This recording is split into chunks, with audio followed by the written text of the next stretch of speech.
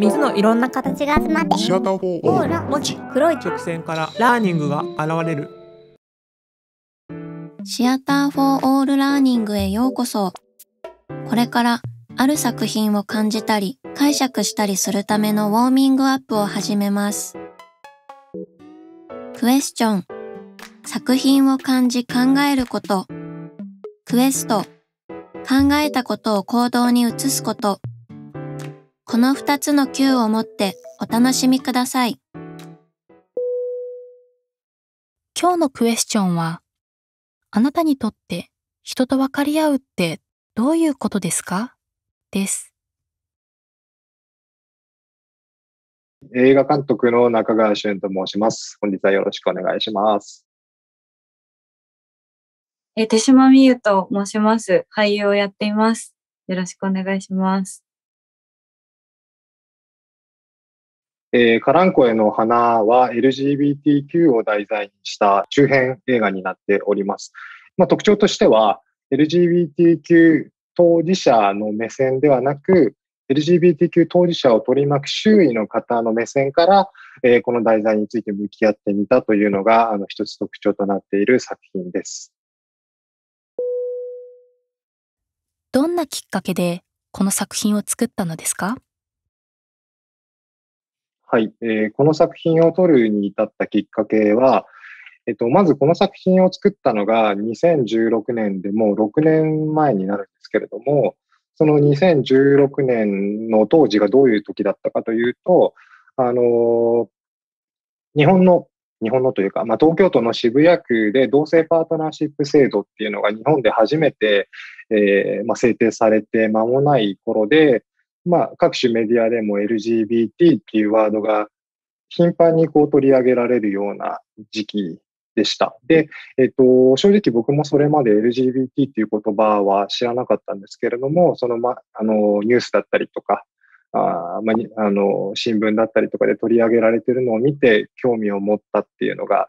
一番最初のきっかけになります。で、えっと、まあ、それで LGBTQ に興味を持って調べ始めて、まあ、あの、それにまつわる映画作品とかをたくさん見たんですけど、まあ、その多くが LGBTQ 当事者の方の目線で描かれていて、えーまあ、当事者の方がこの社会の中で生きる苦悩葛藤を描いた作品がほとんどだったんですけど、まあ、LGBTQ の話って人と人とのコミュニケーションの上で生じる問題というか、まあ、そういう話なので、必ずこう、まあ、当事者の方と当事者以外の方の双方の目線で考える必要があるなというふうに感じまして、あの、まあ、そういった LGBTQ 当事者の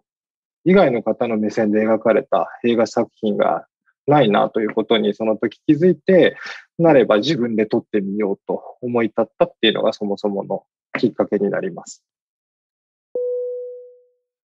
役を演じることでどんな変化がありましたか？そうですね。やっぱ撮影したのが 6, 6年前ですか？そんなに前ですね。立ちましたね。経ちましたね。なので、当時は私18歳とかだったんですけど、あの、かなりその当時の自分に近かったというか、結構等身大的な役だったなと今、今思うとそう感じるんですけど、っていうのも、こう、撮影の方法として台本があるし、決まってるセリフもあるんですけど、あの、結構即興でやったところが多かったじゃないですか。はい。なんで、結構、あの、どういうキャラクターかっていうのをしっかり詰めておかないと、その場でそもそも発言をしたり、感情を表現することができないので、多分それもあって自分に近いところにキャラクターを置いて演じたんだと思うんですけど、なんかその当時は、LGBTQ+ プラスっていう言葉があることは知っていたけれど、自分はそこには該当していないけど、でも、そういう人たちに対して嫌悪感はないよ、みたいな、こう、まあ、分かってるけど別に気にしてないよ、みたいな、こう、まあ、いい意味で言ったら寛容とも見られるかもしれないですけど、まあ、ちょっと悪い意味で言うと爪が甘いというか、まあ、あんまり自分のこととして想像できてないみたいな役でありつつ、まあ自分自身もそうだったので、なんかそういうリアルな気持ちが即興で撮るっていう撮影方法も相まって、だいぶ新鮮な気持ちでお芝居ができたなと思うんですけど、まあその中で、その自分の大切な友達をちょっと無意識に傷つけてしまうっていうことが作品内ではあるんですけど、なんかその経験をしたことによって、なんか役としての経験が結構自分自身の経験にもなったというか、自分の大切な人とどう向き合うかみたいな、その人がどうして欲しいかとか、どう理解してあげればよかったかとか、なんかそういうのがすごく自分の経験として今も残ってて、やっぱりこの作品通してから、こう、人を、まあ、思いやるというか、その人はどうしたいんだろうっていうのをこう気遣うアンテナが自分としても結構高くなったかなとかは思います。手島さんにいたっていうと、今即興っていう話がありましたけど、まあ他の人はある程度ね、今話にあったように、セリフを喋ってもらったりってことが、まあまあまあまあな割合であったんですけど、手島さんに至っては、まあセリフはもう一文ぐらいしか多分決まってなくて。あとぜあと全部、あの、本人の即興で演じていただいたところがあるので、あのまあ、本当に今話にあったように、その手島美優本人のパーソナリティみたいなのも存分にこう、役に反映される形になったかなと、まあ、見てて思いましたね。自分とは違う人と分かり合うにはどうしたらいいでしょうか？私が最近思ったのは、いろんな考え方があったり、いろんな愛し方とかがあるのが、本当にいいことだと思うから、うん。うん。うん、だけど、自分と違う人とか自分がちょっとよくわかんないみたいな、やったことないからわからんみたいな話で世界中にいるから、その全員を理解することって不可能だと思うんですよ。私、うん、無理やりしなくていいと思ってて、うん、なんか、こう、無理にみんなのことを理解しようとすればするほど、本当の意味の思いやりとはどんどん離れていっちゃうと思うんですよね。だから、まずは親でもいいし、友達でも恋人でもいいんですけど、ある特定の人を決めて、その人をよりよく知るための作業とか、その人の希望をこう聞いてあげる作業とか、その人を理解してくる、理解する作業をどんどんこう重ねていくと、その人のことをまず大切にはできるじゃないですか。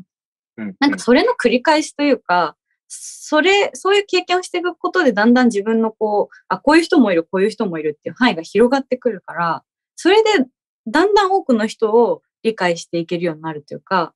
こう、優しい気持ちになっていけるんじゃないかなと思ってて、なんか自分としては、そういう作業をどんどん重ねていくことが、一番優しいのかなとかは思います。うんうんうん、それこそ、カランコエに、あの、つながってくるところがあって、明確にそのアンケートとか取ったわけじゃないですけど、僕が感覚として思うのは、あの、向き合いたいなとは思っているんだけれども、その自分とは違う価値観すぎて、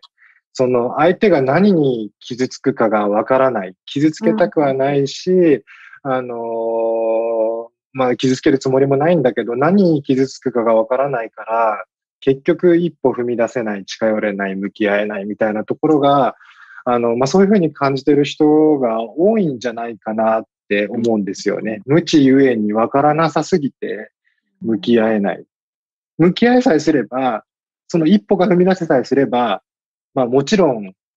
エラーは出るんだろうけど、トライアンドエラーで構築していくスタートラインには立てるわけじゃないですか。うんでもそのスタートラインになかなか立てない、怖くて立てない人って多いなって思うんですよね。なんで、スタートラインに立つためにどういうことをしていく、社会はどういうことを発信していくべきなのかっていうと、やっぱり根気強くいろんなメディアで当事者の声を届けていくことだと思うんですよね。で、そうやって発信を続けていって、だんだんと情報が蓄積されていって、ある程度、あ、こういうことなのかもしれない。こういうことが良くないのかもしれないっていうような、自分の中のそのね、イメージが持てれば、きっとスタートラインに立てて、で、そのイメージが合ってるかどうかの確認ができると思うんですよね。スタートラインに立ってコミュニケーションして。で、そのトライアンドエラーを繰り返していって、イメージをより、あの、実態に沿ったものにこう修正していって、最終的には理解し合えるような、その、社会、コミュニティっていうのが作っていけるんじゃないかなっていうふうに僕は思いますけどね。人それぞれ違いますもんね。LGBTQ プラスに該当する人たちの意見が全部そうではないですもんね。うんうんうん、その中に個人があって、その個人としての意見がたくさんこう発信されるというか、そういうものをどんどん情報を収集して自分の中でこう落とし込んでいければ、まあまあでもそれって誰でもそうなんですけどね。結局そうなんですよね。そう。いろんな人のこと知ろうよっていう話なんですけどね。うん、うん、うんうん。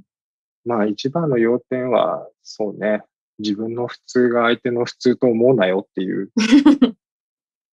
ことかな。それだけ一個お守りのように持っていけば、なんか大抵のコミュニケーションを改善していく気がするなというふうには思います。今日のクエスチョンは、あなたにとって人と分かり合うってどういうことですか？です。クエスチョンを持って作品に向かった時、どんな驚きやワクワクがあなたを待っているでしょう？アーティストや学者の視点、ユニークな表現や感じ方に触れた時、あなたの中の未知の扉が開かれるかもしれない。人も子供も張り切って作品鑑賞から広がる世界に心を澄ましてクエストしよう。